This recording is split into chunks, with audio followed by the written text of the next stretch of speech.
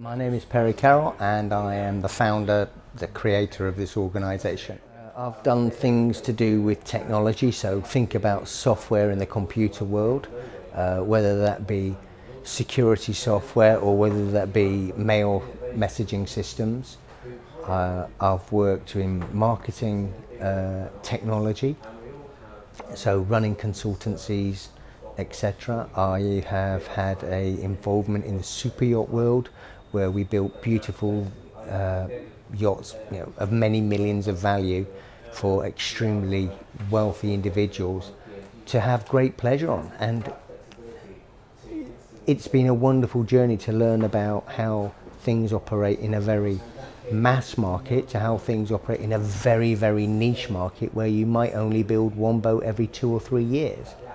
And it's understanding the journey and part of that journey has been about appreciating the beauty of design, the beauty of technology, allied to the commercial realities that we all live in.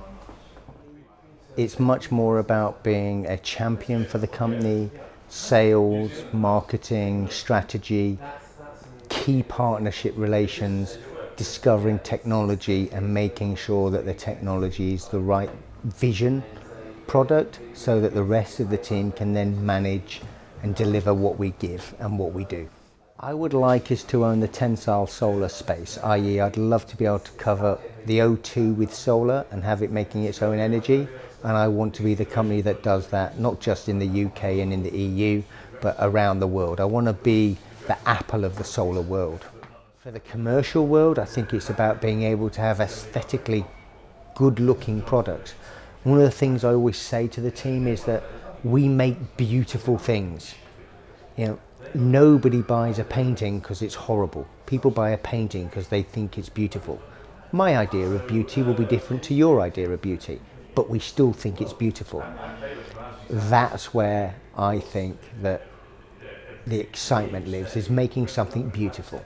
There's investment in the fact that you're actually going to make a difference to society in the way we look, the way we feel, and the way that we actually present solar. There's uh, an environmental impact that you're going to invest in, in the sense that you're making the planet a better place. There's an aspect of protection, especially in things like the car parking, etc., where you're no longer going to be parking your car underneath the rain or in the hot sun, etc. You're parking it in a much more gentle environment, which is great for let's call it the older and the younger members of our community. So there's lots of different upsides. To be able to drive in my normal life to wherever I go in my normal life and see beautiful solar structures being used in a very practical way.